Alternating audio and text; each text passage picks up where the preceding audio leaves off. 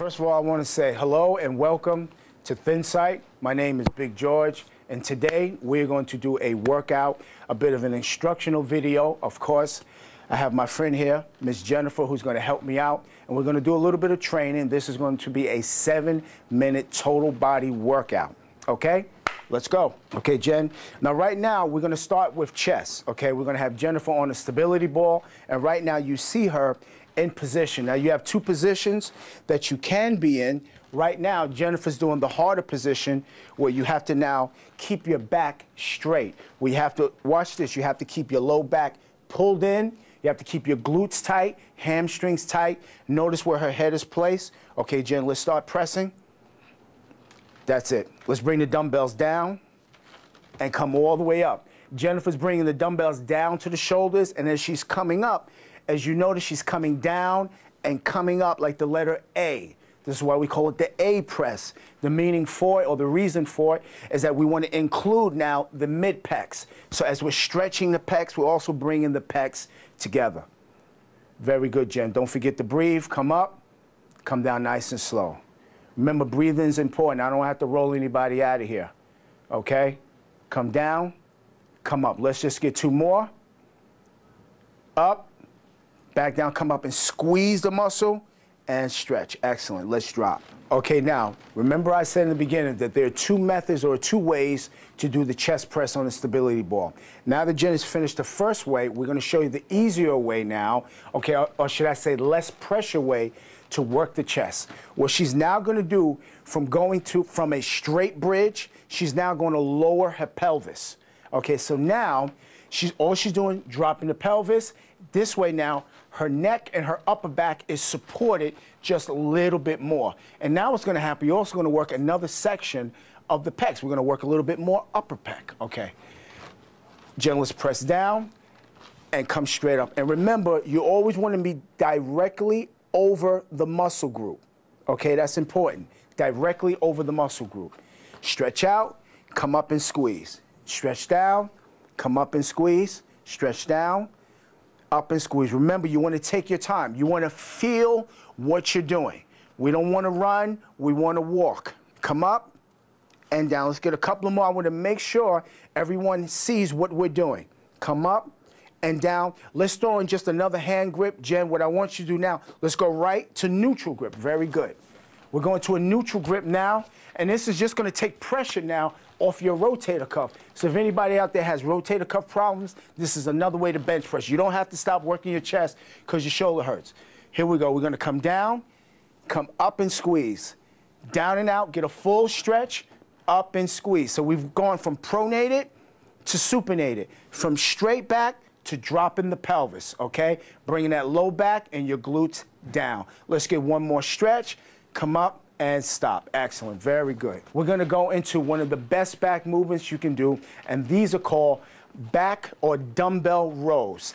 Now, what you're going to see is that we're going to do them on a stability ball.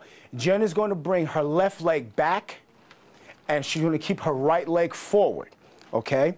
And once again, you don't have to go heavy. In this video, all we're using are threes, fives, and eights okay? Remember, we're not powerlifters, we're bodybuilders, okay? And we're trying to build a body. Notice she's keeping her head up. Notice the space. Notice the space between here and here. We're stretching out so she works her core at the same time, okay? And by coming out further, it's going to activate her core muscles. Here we go, Jen. Let's bring down and let's come up.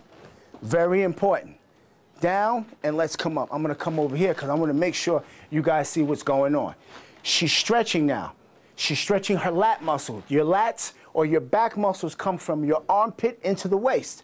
So she's coming down, stretching, coming up and squeezing. We're not just pulling, we're stretching and squeezing. Very important, okay? Very important. Come up, down, and up. Notice She's coming down a little bit. Now watch this. Look at her wrist. She's keeping the wrist straight. She's not arching.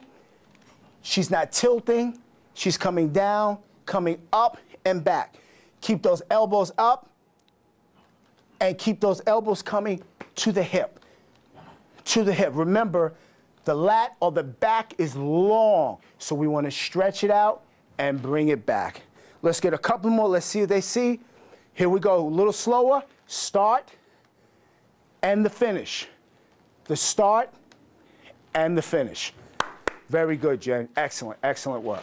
Okay, we're gonna drop this and we're gonna go, let's go right to abs now. Now, as you can see, her feet are on top of the ball, so you can do this at home, whether your legs are on the side of your bed or the side of a chair. You don't have to have a stability ball, but if you would like one, Thin-site does sell them. Okay? Here we go, Jen. Now notice she's keeping the arms across the chest, she's keeping her chin up, and she's bringing now her shoulder blades off the floor and pausing at the top. The pause is important. A lot of times when you see pictures in magazines, all you see is the start and the finish. But we're missing something important. There's something that happens in between. I'm going to show you. That's the finish. Here's the start, finish. Now here's in between. Come up, pause. Okay? Your form happens in between. That's where you get muscle shape, muscle strength. Okay? Come up, and down. Let's get another three. Back up, hold, and slow. Hold and slow. One more time, bring it up and down. Excellent. Jennifer now is about to go into some shoulder work. So our first move, okay, we're gonna use just three pounds, that's all you need. We're gonna do an isolation movement called shoulder or delt lateral. Lateral meaning coming away from the body, okay? Right now, Jennifer's sitting erect, head up with her low back pulled in. Very important. Posture, most important thing. Okay, Jen, let's go right into shoulder laterals. That's it. Head up. I want to show you guys something important. Not only is her posture correct here, but watch this. As she comes up, pause, look at her wrist. You got to bend the wrist a little bit. When you do that, your delt will pop. It gets right in the medial head of your shoulder. Come up, hold, and slow. Remember now, we don't want momentum. Rhythm's good, but not momentum. Momentum means we're out of control. Rhythm means we're in control. Very good. Come back up again, up and down. Good. Let's get another five. Now, when we're doing a workout like this, we want to average, I would say, anywhere between 15 to 20 repetitions. We want to keep the reps kind of high. Why? Because we really want to flush the muscle with blood, because that's the key. You got to get blood into the muscle. Here we go, Jen. We're going to do the shoulder press, and we're going to come up overhead. As you see, she's using a pronated grip. That's an overhand grip. Come down to the shoulders. Very important. Never, when you're doing a shoulder press, never come below the chin. Okay? You can come down, but never below the chin, and always press equal or parallel to your ears. A lot of time people press forward. We don't want to go forward. We want to go directly over the shoulder. Why? So we can incorporate all three heads. Down, come up and squeeze. That's it. Take your time. Feel the movement. It's important. Feel what you're doing. Don't just arbitrarily do this if you're in a rush. If you're in a rush, you shouldn't be doing this right now. You should get some sleep. Take your time. Know what you're doing. Okay? Come up again. Let's get two more. I'm making to do two more because I lost count actually. Here we go again. Back up and down. Very good. Now we're going to go to ab work.